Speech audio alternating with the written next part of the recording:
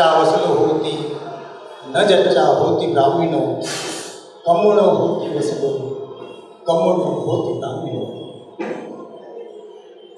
दो हज़ार ब्राह्मणों 2500 साल पहले, इस मानव जाति को तथागत गौतम बुद्ध ने एक संदेश दिया। वो उस समय भी वर्णवाद यहाँ पे पनप रहा था। और वो वर्णवाद के खिलाफ तथागत गौतम बुद्ध कहते हैं कि न जच्चा वसल हो जन्म से कोई भी उच्च नहीं होता, ब्राह्मण नहीं होता। न जच्चा होती ब्राह्मण हो कम्मनो होती वसुलो कम्मनो होती ब्राह्मण। कर्म से आदमी छोटा या बड़ा, उच्च या नीच, ब्राह्मण या शुद्ध, हो सकता है। यह विचार ढाई हज़ार साल पहले तथागत गौतम बुद्ध ने कहा, उस महामानव तथागत सिद्धार्थ गौतम बुद्ध को मैं वंदन करता हूँ।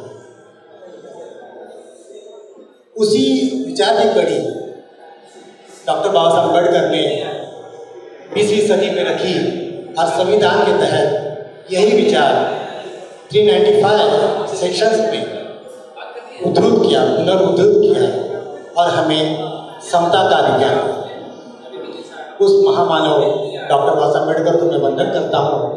महात्मा ज्योतिराव फुले, सावित्रीबाई फुले, कभी इन महामानव जिनको डॉक्टर बाबा साहब अंबेडकर ने गुरु माना, उन सभी महामानव संत उनको मैं वंदन करता हूँ।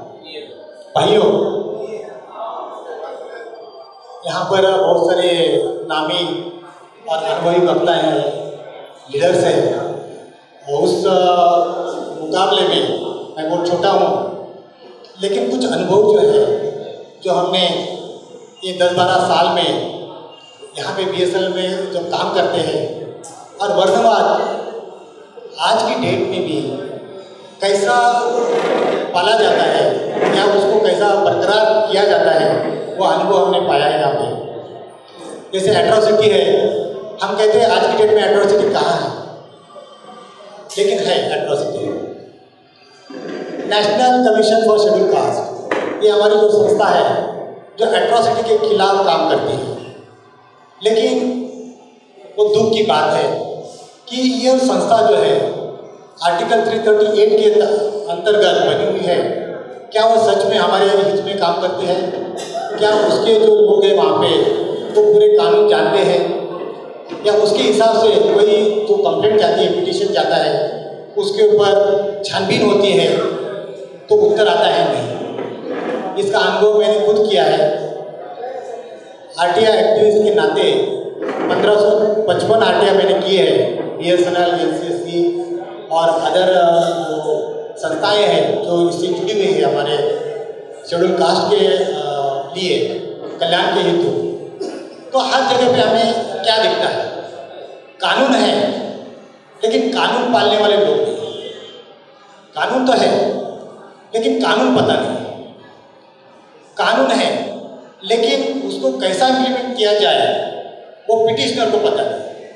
तो ऐसे केस में संविधान होते हुए भी हम संविधान से बहुत दूर हैं।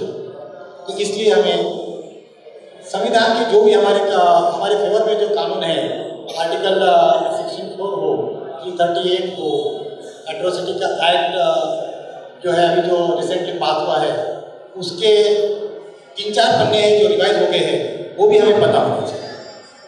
इसके लिए हमें, जैसे बाबा साहब अंबेडकर कहते हैं कि भाई कानून, हमें कानून का राज चाहिए। तो कानून का राज चाहिए, ऐसा कहते थे है लोग, लेकिन कानून का राज कैसा आएगा इसलिए नॉलेज चाहिए। और नॉलेज कब मिलेगा हमें? जब हम लोग उसमें उतरेंगे। हम खुद पाने की होड़ रखेंगे, तभी हमें क्या होगा नॉलेज आएगा तो ये सब चीज़ें सामने रखते हुए मैं ये अभी सभी, आप सभी को अनुरोध करता हूँ कि हमारे जहाँ जहाँ पर हम लोग हैं, ये जो आर है, जिसके तहत हम लोग उस उस इंफॉर्मेशन को हासिल कर सकते हैं। दूसरी बात, वो इंफॉर्मेशन आने के बाद, वो इम्प्लीमेंटेशन कैसी करनी है, उसके लिए अपने को एट्रोसिटी पता होना चाहिए। आईपीसी आईपीसी पता होनी चाहिए सीआरपीसी पता होनी चाहिए। ज़रूरी नहीं है ये सभी चीज़ें एक वकील को मालूम हो। ये चीज़ें जो है, हमें आम आम नागरिक को मालूम होना चाहिए। सिविल सिटीजन होना चाहिए हमें। उसके लिए ये सभी चीज़ें जो है, हमारे ए बी सी डी की जैसे होती है। जैसे हम लोग पुलिस स्टेशन में जाते हैं और थ्री वन नाइन जो है या थ्री वन सेवन है, ये जो हमारे एट्रोसिटी के कानून हैं ये हमारे सेक्शन है सेक्शन फोर है। ये हमें नहीं पता होता। सेक्शन फोर हमेशा वायलेट होता है। हमारे हमारे निजी ज़िंदगी में भी होता है और हम लोग जहाँ पे कंप्लेंट करते हैं, वहीं पर भी होता है। लेकिन क्या है सेक्शन फोर क्या है थ्री टू वन क्या है three two two three three one से लेके थ्री एलेवन ट्वेल्व तक जो सभी कानून हमारे हित में बने हैं और अभी रिसेंटली जो सुप्रीम कोर्ट ने जो ऑर्डर पास किए हैं, वो और कानून सख्त किए हैं। तो कानून सख्त किया है लेकिन कितना किया है? और उसका हमें उपयोग कैसा होगा? ये पता होने होने के लिए हमें एट्रोसिटी की जो है शिविर लेनी चाहिए। आर के हमें शिविर लेने चाहिए। और जैसा मैंने कुछ थोड़ा सा कुछ पाया है, मैंने आर टी की पीपीटी तैयार की है और आर टी के एक्ट्रेस तैयार करता हूँ एट्रोसिटी के एक्ट्रेस तैयार करता हूँ। और बहुत सिंपल वकील तो बात की बात है, लेकिन डेली निजी लाइफ में आपको वकील कहाँ मिलेगा? लेकिन जो छोटी छोटी चीज़ें हैं, वो आपको यदि पता होगी तो आपको वकील के पास जाने की ज़रूरत है। और दुख की बात यह है आज की डेट में, मेरी केस में मैंने जो अनुभव पाया है कि हमारे वकील जो है एट्रोसिटी एक्ट जानते नहीं है। एट्रोसिटी एक्ट हमारे वकील जानते नहीं है। और उसके लिए क्या होता है कि हम लोग जब कोर्ट में जाते हैं तो कोर्ट हमारे खिलाफ क्या करता है डिसीज़न दे देता है। क्योंकि ड्राफ्टिंग वैसे बनती नहीं है। जैसे थ्री वन नाइन जो है, ये फाल्सिफिकेशन ऑफ़ रिकॉर्ड हमेशा होता है हमारे जैसा 25 ग्यारह 2014 में सी सीएमडी बीएसएनएल ने national commission for schedule caste इनके साथ में जो वाइस चेयरमैन अपने पुनिया सर थे और हमारे बलछोड़े साहब सेवा में थे तो वो मीटिंग में हाजिर थे। उसमें बीएसएनएल में जो है रोस्टर लागू नहीं होता है।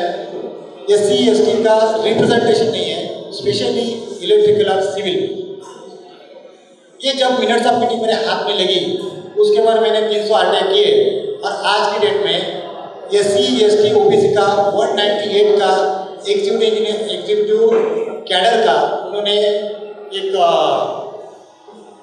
बैकलॉग जो भरने का ऑर्डर निकाला। कितना सिंपल है कि उनकी गलतियाँ जो है, उसको देखो उसको इंसिस्ट करो और उनसे काम करा के दूसरी बात यह है कि रोस्टर जो है हमारे बी में, पता ही नहीं था किसी तो ये रोस्टर जो है पूरे लागू होने के कारण सभी की सीनियरिटी बराबर हो गई और उसमें ज़्यादातर ओपन कैटेगरी के लोग खुश हो गए, क्योंकि उनको पता ही नहीं था कि उनका सीनियरिटी नंबर कहाँ पर है। तो रोस्टर जो है वो हमें पता होना चाहिए।